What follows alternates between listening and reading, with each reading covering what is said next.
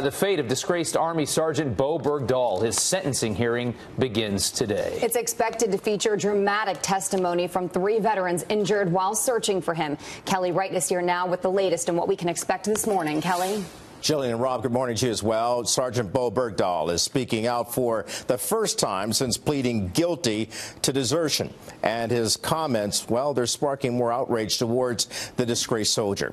In an interview with the British Sunday Times, Bergdahl said his Taliban captors were more honest with him than the U.S. Army has been since his release from the Taliban.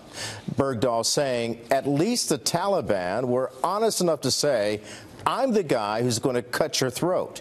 Here, it could be the guy I pass in the corridor who's going to sign the paper that sends me away for life. Bergdahl was captured in 2009, you'll recall, after leaving his base in Afghanistan. The Taliban eventually freed him in May of 2014 as part of a controversial prisoner exchange with five Taliban members who were being detained at Guantanamo Bay Detention Center. Now, three soldiers suffered life-changing injuries in the search for Bergdahl. Their statement are strong evidence against him. Retired Green Beret Commander Michael Waltz led the Special Forces team that conducted that search.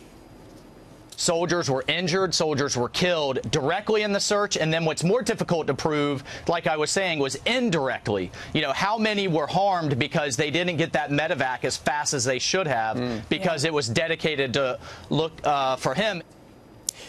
Bergdahl's defense attorneys may argue concerns about comments that President Trump made as candidate Trump, as repeatedly calling Bergdahl a traitor. We're tired of Sergeant Bergdahl, who's a traitor. He's a traitor, a no good traitor, who should have been executed Bergdahl entered what's known as a naked plea. Now, that means no deal for lesser punishment. He is, of course, hoping for leniency from the judge. We'll see today. Rob. Yeah, see how quickly that comes around. All right, Kelly, thanks so much.